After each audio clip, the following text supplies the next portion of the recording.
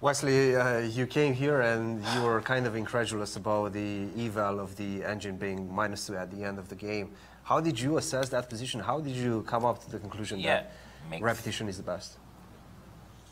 Well, no, I just thought things went out of control. I mean, it doesn't even make sense looking at the computer these days because they're just too strong, and the evaluation uh, is inhuman, so to- totally unrealistic. But uh, well, I thought the position was very complicated at that stage. I was also disappointed that I missed a very good winning chance against Deac the other day, so I wasn't especially hoping for much today. But I thought I got a good position. And then you were showing me some lines earlier, like uh, with the exchange sacrifice. With rook to d5, yeah. Yeah, I saw this from afar, and also was calculating it here. But after knight e3, I thought I'm down an exchange in a pawn. And um, I mean, you probably should add more lines here on the engine so that we know if a6 is the only win move. So a6, queen e1, knight takes. Oh, I guess I didn't see queen g6. So I saw a6. And it's more of a slow burning advantage, right? It doesn't finish in the next three moves. Yeah. uh, nothing super tactical, yeah? Yeah, I mean, problem is I can't get my rook. So a6, queen a5, bishop, queen e1. Yeah, and I didn't see queen g6. Just a slow retreat, and it's minus 4.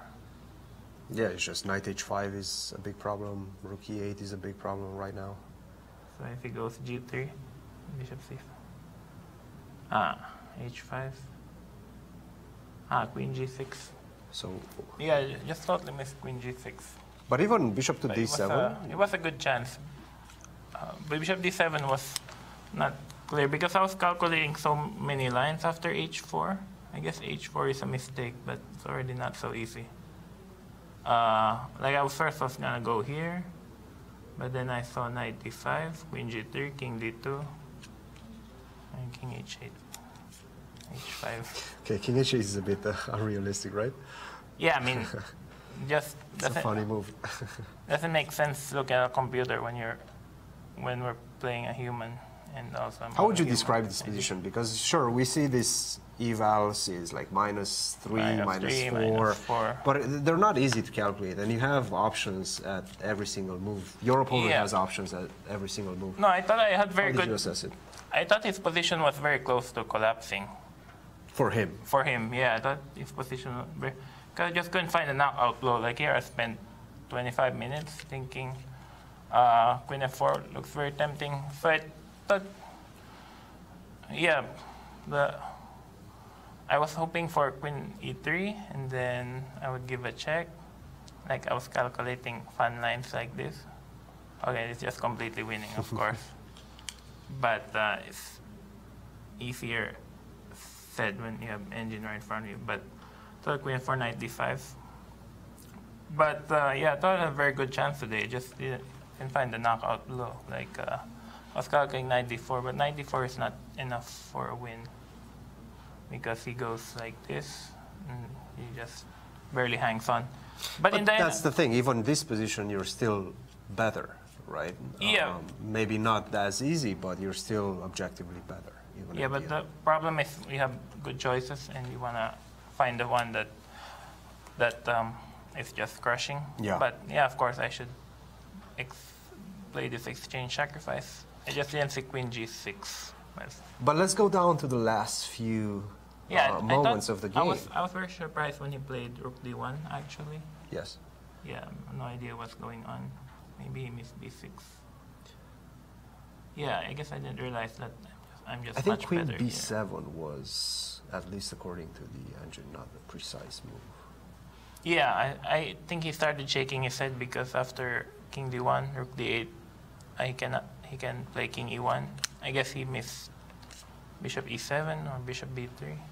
Mm-hmm. But it's not winning for black. But uh, Queen B7 also I had little time at this point. Um, Were you still Yeah, still harboring hopes for, for an advantage here, or were you ready to kind of, you know, make Oh. make a draw if, if Well, I- possible? Well, I wasn't 100% sure who was playing for a win. Hmm. That's the problem. Also, I was getting low on time. I mean, of course, if I have some chance, I would push it. Yeah. But here I was calculating queen b7. Then I couldn't find how to untangle because after 98, he's got e e5. Yeah, this is not easy anymore. Yeah, because with my knight on e8. But I'm not sure also how strong this engine is because usually, yeah, you have to give at least like depth 30, depth 35 to be accurate. But I didn't realize that this position is plus two. Mm.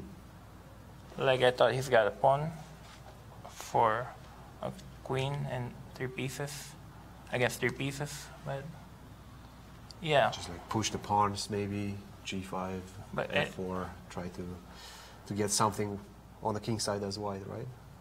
It does look a little bit dangerous For for you if he manages to push you, your pieces out. yeah, still, still have no idea what's uh, going on. See, apparently this is plus two. Because the, bi- the bishop on e6 defends everything.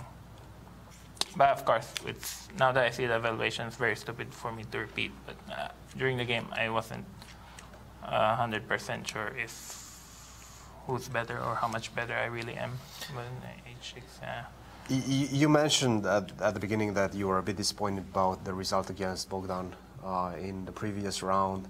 Uh, this is sure another misstep, objective misstep. How are you going to deal with uh, that psychological blow? Uh, well, I've been doing this for eight and a half years, so it's just another day in the office for me. I mean, obviously I wanted better. I thought Ding was in good shape in this tournament. Like when he started making all these bad moves in the opening, like Queen D3, Very aggressive, F3. yeah. Yeah. I mean E4. He should just try to. I don't know. Like I guess he didn't want to make a draw so early in the game. So that's why I played e4, but only white could run into trouble here. Um, so, well, just take it day at a time. I still got plenty of tournaments left in the year. And just, as I say in St. Louis, just try to keep getting better uh, day by day and hope that things go your way. But I'm very pleased that my compatriot Fabiano is doing extremely well in this tournament. I think uh, the last two times in Romania, or the last three times actually, didn't go well, but uh, very glad that he's uh, winning almost every game here. But it's a pity that I didn't convert today. It would have been a big treat beating the world champion, but yeah, Yeah. I still find it very stupid that I repeated moves in this position. Well, yeah, without the engine. it is Without the engine, it's not that easy to, to, to assess these imbalanced positions. Wesley, Yeah, actually, might be interesting if you ask random GMs what they think of, of the assessment in this position. I, I, I don't think anyone would give plus two for black. and maybe we can throw that question to, uh, to the guys in St. Louis. Wesley, thank you very much for Yeah, joining thank you so much for having me. Guys, back to you. Thank you, uh, Cristian. Thank you, Wesley. It goes to show, Nazi, what a very